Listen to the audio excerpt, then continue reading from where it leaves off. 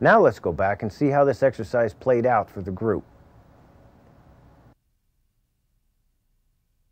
Okay, it's now 1500.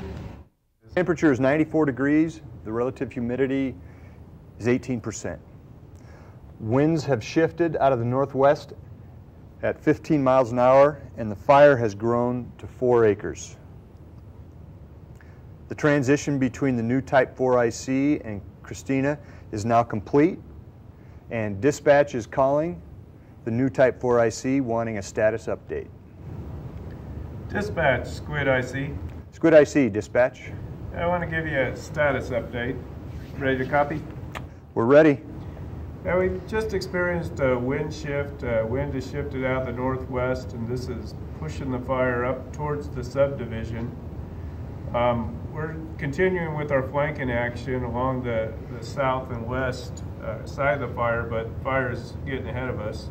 Break. We've got two engines deployed in the subdivision, and the report from them is uh, they've got good defensible space and think they can protect the structures. However, this fire is starting to grow. Our, our intention right now is just to keep the fire out of the subdivision, and meanwhile, the fire is continuing to grow. Are there any additional resources available?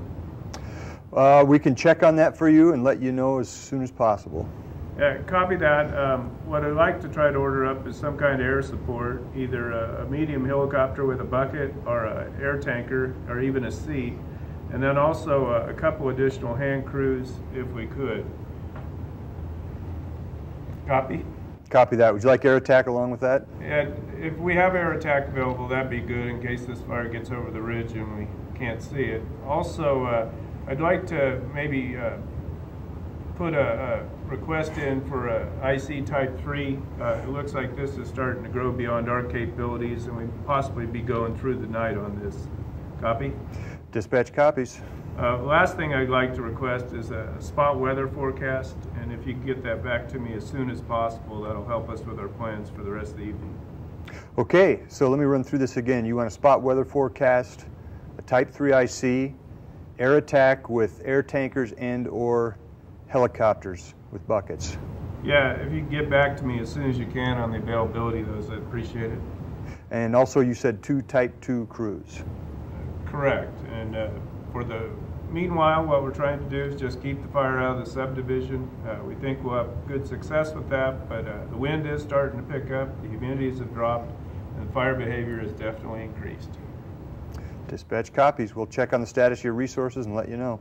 Thank you, Dispatch. Squid IC clear. At this point, we'll end the scenario and begin the after action review. Sand tables are not only a good training tool, they also serve as a good platform to conduct after action reviews.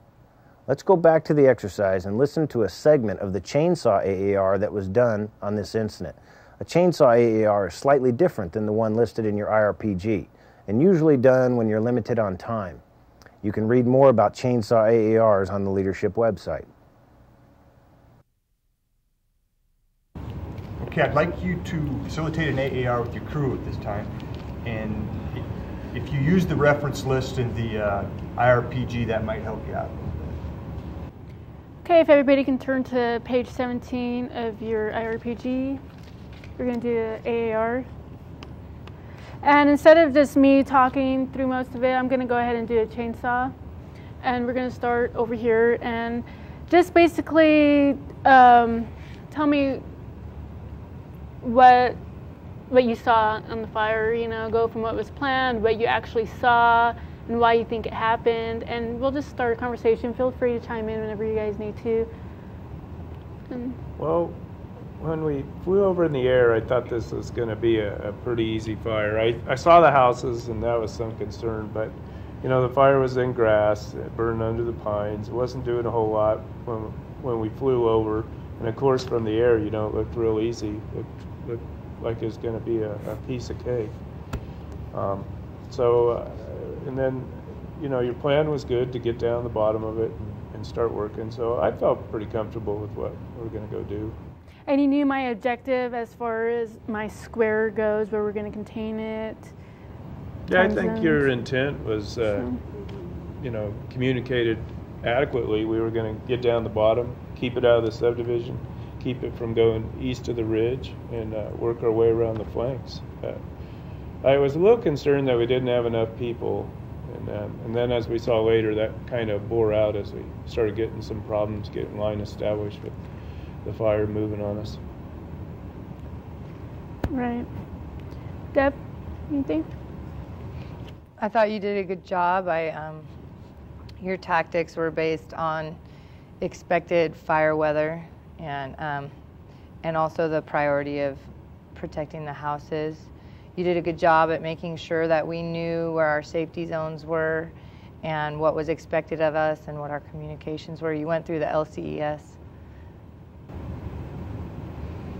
Any comments from over here? No, I thought it was a good. Uh, I thought it was a good scenario. I mean, uh, your your outlined the objectives, used a nice briefing. Uh, the tactics were solid.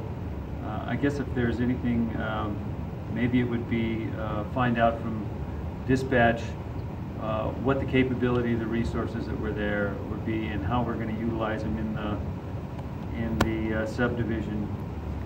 Right. I could have probably got the quals of everybody before they were actually. On. Yeah, or, or just maybe a, a plan that it'd be nice for me to know as one of the firefighters on the fire what the plan was for the subdivision, other than just go over there and look around, uh, pump for the information to come back. Maybe I don't know. It affects us. What affects what's going to happen on the main fire? Uh, what we're doing there? What's going to happen in the subdivision? But Right. again, uh, really, that, that's a small point. I thought it was a good job. you know, with that, um, I thought that in her intent, there was a contingency plan. A couple of things, you know, number one, she sent um, an individual down into the housing area to assess that, so I'm immediately thinking, well, she's got a bigger picture in mind, you know, by sending a person down there. Good point. You also, also, um, you could see that she knew what was gonna happen with the weather. Um, that there was gonna be a wind shift and consequently, your tactics, as expressed through your intent, kinda laid out where you wanted us to start and how you wanted us to proceed around this fire. Um, so, it's interesting that you can see how, uh, contingency planning is buried in her intent. Um, You can dig that out of the intent, I guess. So, just to give an overview, what was planned was we were gonna, we landed on top, we hiked down to the bottom, we were gonna keep it out of the subdivision um, on the west side of the ridge and worry about this side later, preferably keep it south of there, but mainly we were just concerned about the subdivision. And then we set Deb in to triage the subdivision, waiting the engines to come. Everybody knew that was going on. What actually happened was we just focused on the right flank, and then the helicopter came in with our other crew members, and we did a transition in there. We, we did, I didn't see happening, and I should have, was the bridge over there and the volunteer fire department not being able to get over. And I felt like I was focusing more of my concentration on the fire and not really. I didn't call Deb, Deb called me, and I should have focused on that a little bit more um, and tied in with the engines somehow to figure, see for myself what is going on for this with the subdivision. I thought I thought that was a good move though to use the volunteer engine as a water tender rather than just have them sit there and watch. So at least they were busy doing something and actually serving a purpose.